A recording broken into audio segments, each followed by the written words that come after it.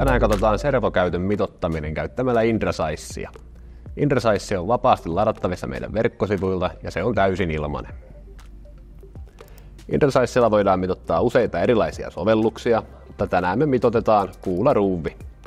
Valitaan siis kuularuuvi ja standardi lineaariliike. Seuraavaksi ruvetaan rakentaa järjestelmän mekaniikkaa. Me valitaan tuolta Rexroot vaihdelaatikko ja tässä tapauksessa ei tarvita mitään erillistä konfigurointia, vaan kaikki tulee automaattisesti. Sitten ruvetaan laittaa järjestelmän lähtöarvoja.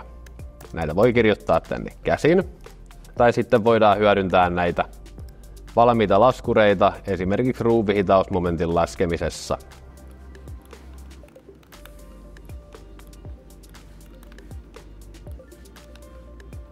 Mitään ulkoisia voimia meillä ei tässä nyt ole, joten nämä kentät voidaan jättää tyhjäksi. Akselikin meillä on vaakatasossa, joten ei tarvitse koskea tähänkään.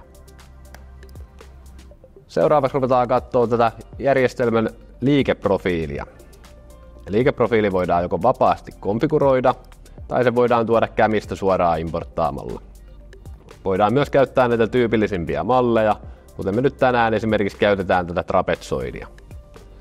Aloitetaan tästä katsomalla liikkeen laki, ja meille riittää tämä toisen asteen polynomifunktio, mutta monimutkaisemmissa tapauksissa voi olla hyödyllistä käyttää esimerkiksi näitä sinifunktioita.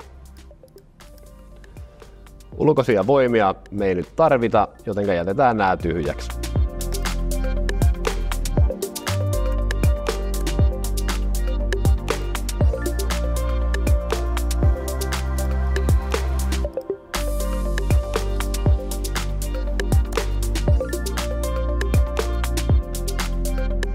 Näin meillä on liikeprofiili luotuna, joten voidaan siirtyä seuraavaan vaiheeseen. Tässä päästäänkin jo valitsemaan komponentteja ja meillä on täällä tarjolla useita erilaisia invertereitä ja konvertereita.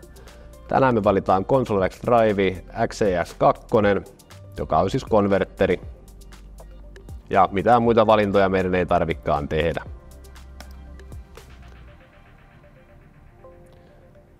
Mahdollisia paketteja löytyy aika runsaasti, koska meillä nyt ei ollut mitään suodattimia, mutta yleensä tätä listan alkupäästä löytyy oikein hyviä vaihtoehtoja. Esimerkiksi tästä löytyy 10 ampeerinen konverteri, joka näyttää kaikin puolin muutenkin aika hyvältä, joten voidaan siirtyä tarkempaan tarkasteluun. Täältä meiltä näkyy tyypillisimmät ominaiskäyrät, sekä keskimääräistä kuormitusta kuvaava piste ja hetkellistä kuormitusta kuvaava pisteet. Ja nämä pisteet nyt on omien ominaiskäyriensä alapuolella, joten näiltä osin tämä mitoitus näyttää ihan hyvältä. Voidaan vielä tarkistaa täältä komponenttien lämpökäyttäytyminen, joka näyttää sekin aika hyvältä, niin siirrytään tuohon loppuraportin tarkasteluun. Täältä meiltä löytyy kaikki järjestelmän tiedot kuvaajineen, ja tätä voi käyttää muun suunnittelun tukena ihan tällaisena. Ja tosiaan Indrasize löytyy meidän verkkosivuilta, joten käy kokeilemassa.